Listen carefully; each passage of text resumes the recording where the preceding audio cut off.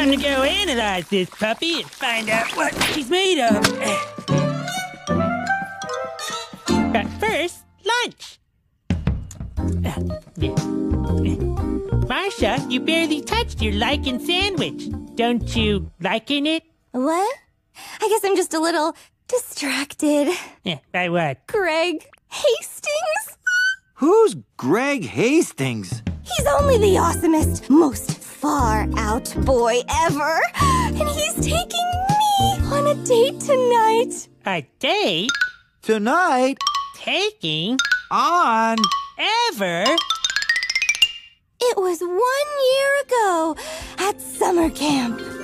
Oh, Gregory, will I ever see you again? When the moon is full and the time is right, we will dine by candlelight. One year from next Tuesday! Is that counting holidays? All except Columbus Day! And that's why tonight's gonna be the most magical night of my life. I'll say. That'd be a real magic trick for Greg to show up down here. You don't know how he feels about me. Don't worry, Marcia. An Axamander could always take you out.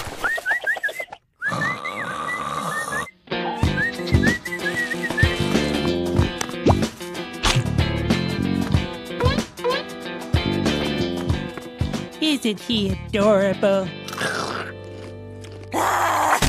well, technically, Greg could show up. really? He would just have to rearrange his atoms and launch them here using some kind of photon electroid beam.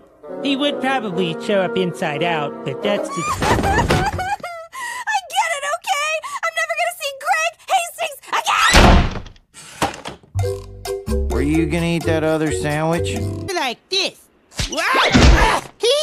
Or like this. Wait, what did you just say, Billy? oh, um, ha ha ha Not that. Wow. Oof. Before that, Billy. Uh, uh, I don't know. See? After that. They set it up more like this. Back a little. Prank us. Prank us, yes! Billy, that's it! That's how we'll beat those troggies! I'll prank them with the greatest prank in Subterranea history! What is the greatest prank in Subterranea history? Uh, I don't know. But I do know who does know.